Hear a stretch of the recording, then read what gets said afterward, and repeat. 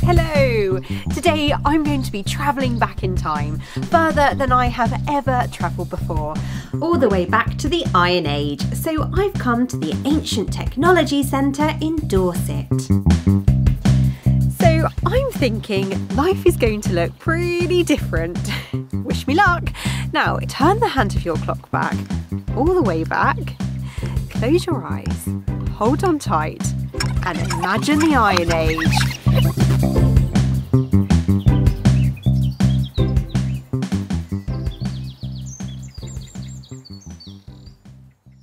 If you like this video, please hit the thumbs up and subscribe to my channel. Wow, that worked nicely.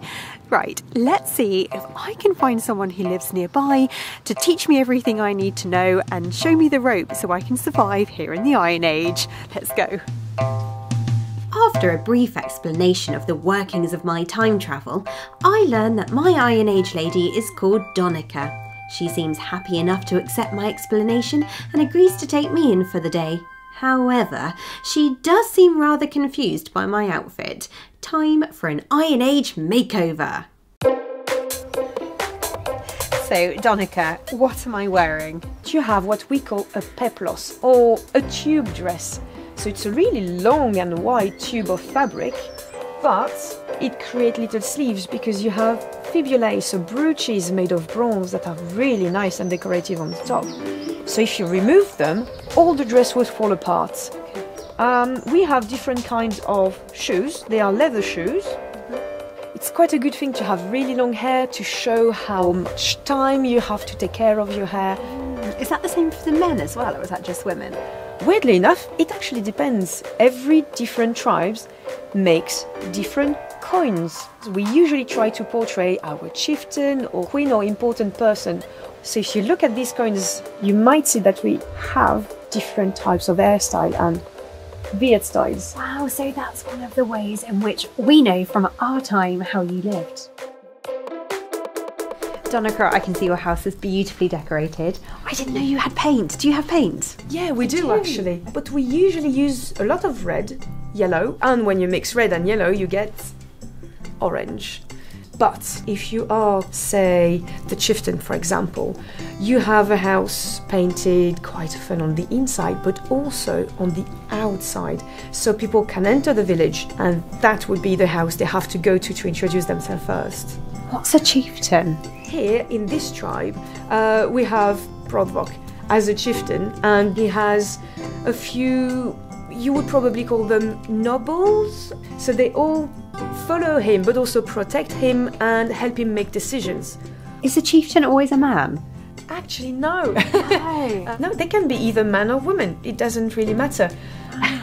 Is there a difference between a king and a chieftain? A chieftain is usually chosen by the community. A king or a queen is usually the daughter of the or the son of the previous king or queens. But every single tribe works differently.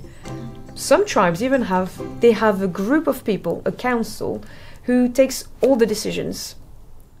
Now we head outside where Doneca shows me how she forages elderflower and a quite surprising stingy plant. Stinging nettles. Mm-hmm. The problem is, as they are stinging nettles, they might sting your fingers. So either you can be very brave, or you can use a cloth. I'm going to use So a cloth. I think it's a really good idea. but I would never eat them raw. But as long as they are well heated, the sting disappears. I usually put them all in a great big pot and I just boil it on the fire. Otherwise, you could also put these ones with a little bit of honey in some boiled water, and that's nettle tea. Sometimes it turns pink. Does it? Yeah, Is the elderflower? It is. I actually dry it and I can make it into a tea as well, a herbal tea. Or I could put it in some milk with honey to make a sort of cream pudding. So I would pick no leaves at all, just the stem, and it makes a little umbrella. Then I would shake them a little bit just in case there are some poor little insects that might have been picked up with. And we can use it like this or leave it to dry. Next, Doneca got the fire going in preparation for some Iron Age baking. Before we start, Doneca shows me how Iron Age people would wash their hands before eating, using herbs in water that actually acted as an early form of soap.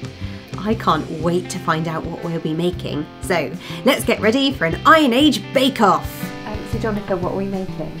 Well, for the moment, we'll make bread. We start by adding a little salt and honey to some flour before adding in some water. Doneca explains that there's no need to measure. If the mix is too sticky, you can always add more flour, and if it's too dry, you can just add more water. We stir the mixture until it starts to come together into a dough. That's really good dough, well done. Thank you. You must do that a lot where you come from. Next, we cut it up into golf ball sized pieces and stretch the dough into shape. And you would make it very thin. The thinner cooks, the quicker. Okay, so this is amazing. This is so easy to do at home. Um, flour, water, honey, and a pinch of salt. And all we've been doing is kneading it into a flatbread. So That looks perfect. Does it? it looks ready. You can either put your dough onto a cooking stone or, believe it or not, straight into the ashes. At home, you can use your oven or a dry frying pan. and then you put the really hot, glowing embers on top of the bread. In less than 10 minutes, my flatbread is all ready to eat. Up, and we'll need to brush it with a little cloth, but for the moment, oh, it's hot. You have a really nice, golden and crunchy little bread. Wow! I'm so excited to try this. Mmm, Crunchy. This is so tasty, and I highly recommend you give this a go at home. So simple. If you do try it at home, do send in pictures because I'd love to see. And maybe experiment with all the different types of toppings that you can add on and see how creative you can get with it. I'll just get back to eating my flatbread now. Mm. So now we're going to make butter. And it's incredibly simple because there's only one ingredient double cream. To get double cream, Iron Age people would leave a container of milk overnight. The cream gradually separates out so that it can be skimmed off the top. The trick is the cream has to be at room temperature, almost a little bit warm. I couldn't believe how simple this was. I held the bowl close to my body to transfer body heat into the cream, and then I just started whisking. After a minute, my milk had turned into whipped cream. really thick. Take a look at this. That's amazing. So there, there it is. that's whipped cream. Mm-hmm. That's it. And after a couple more minutes, I started to get yellow lumps forming that clumped together to form my butter, leaving a white liquid known as buttermilk behind. And look at that. That's amazing. We've just made our own butter in what, two minutes? That's fantastic. I'm so going to be taking this back to the 21st century and trying this at home. And I highly recommend you give it a go too. So, Doneca, do you sleep up there? Not really. The problem is the smoke level stops about there. So you wouldn't be very comfortable. Though, if there's smoke, there are no bugs or little mice or little birds. So that would be our storage space. So, because the fire makes it quite smoky up on this level, it stops the birds and the bugs from getting up there. That's it. And to sleep in, we would have a bed there. Now, Doneca, I always thought there was a hole in the roof of Iron Age roundhouses, I'm embarrassed to say. Um, is that a common myth? We never ever put a hole in our roofs because you see the smoke goes from the fire, goes all the way up, and it filters through the thatch. It goes through and goes then up in the air. So it's actually putting some soot on the inside of the house, which actually makes it fireproof. The smoke it dislodges all the little bugs, so there's no birds trying to peck the thatch out and destroy our roof. So actually having a fire in the house without a hole is really practical. So, Doneca, thank you so much. I've had so much fun in the Iron Age today and seeing your beautiful home. Um, before I go, would you mind just pointing me in the right direction to your bathroom, please? Bathroom. Oh, sorry, the toilet, you know, where you go to the toilet. Oh, yeah.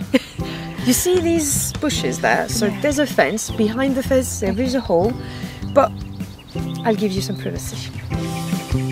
Oh, lovely. Right. I think I'll wait till I get home. Time to travel forward to the 21st century. Close your eyes, hold on tight, and think of home. Lauren? Lauren? Have you finished yet? Where did she go?